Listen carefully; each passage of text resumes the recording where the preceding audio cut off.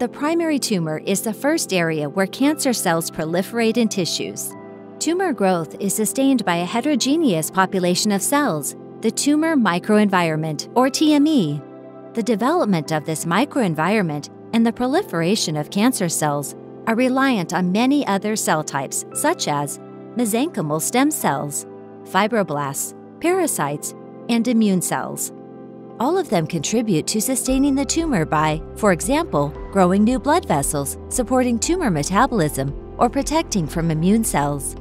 For researchers to study the spread and development of cancer, it is important to investigate the complex interactions that occur as the tumor grows. Two in vitro culture techniques are predominantly used to study cancer cells.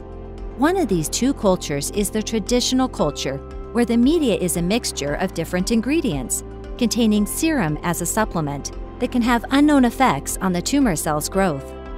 Long-term cultures may also lead to fibroblast overgrowth and therefore to the loss of invasive malignant cells.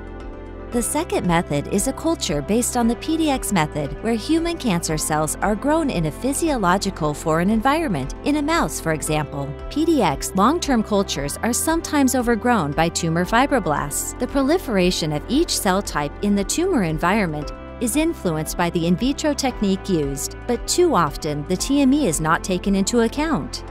As the technique used impacts the cancer cells and the TME's heterogeneity, scientists should be able to monitor the proportion of each cell type in the tumor microenvironment and try to better understand their complex interactions.